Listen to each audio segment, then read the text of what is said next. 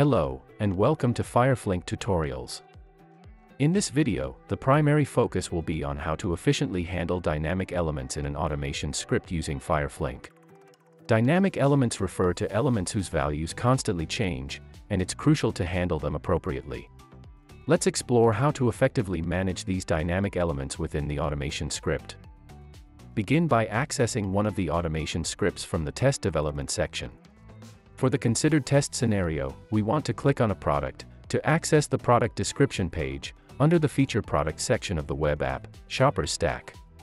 Considering you have already added the desired dynamic element in the repository, proceed by clicking the plus icon to insert an NLP. We will choose the NLP for clicking on an element. Within the input parameter pop-up, select the element text field, and choose the added dynamic element, which in this case, will be the name of the product. Below, you'll find another text field prompting you to input the dynamic value that corresponds to the element's locator. Enter the name of the product based on the element's locator.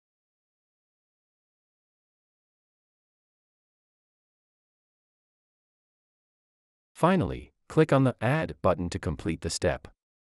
You would have successfully added an NLP that utilizes a dynamic element. By following these instructions, you can efficiently make use of dynamic elements within an automation script. Thanks for watching this video. For more information, please visit www.fireflink.com and schedule a free demo today.